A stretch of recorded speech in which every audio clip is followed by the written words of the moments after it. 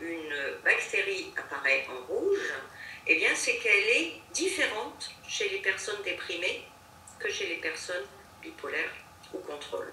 Celles qui sont écrites en verte, eh bien, ce sont les bactéries qui sont différemment, là aussi en quantité différente, hein, c'est en quantité que je parle, entre les patients euh, bipolaires et les contrôles. Et celles qui sont inscrites en jaune, eh bien, c'est celles qu'on trouve perturbées chez les bipolaires.